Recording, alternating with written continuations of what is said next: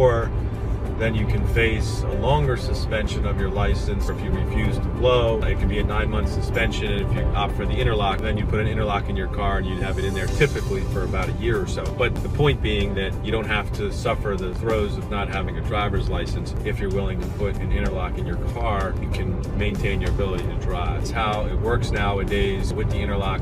If you wanted to request an MVA hearing because you felt that the police officer did not do something right or did not properly advise you of your rights under DR 15, which is a form they have to read you, then you may be able to contest the alleged violation. If you want to do that, you have to file a request within 10 days of your arrest. It's important to move quickly. If you got to reach out to an attorney pretty quickly so that you can get an MVA hearing if that's what you choose to do.